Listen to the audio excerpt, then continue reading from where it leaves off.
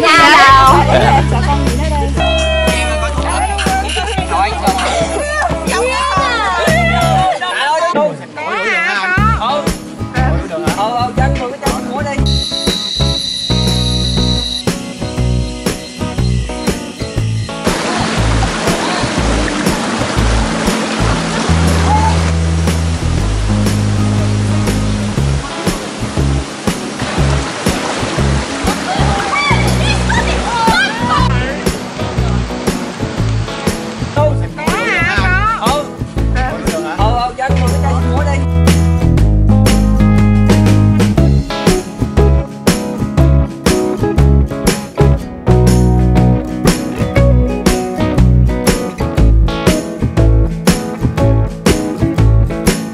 So now everybody please put your shirt uh, like this. trong quần trong Put your shirt on your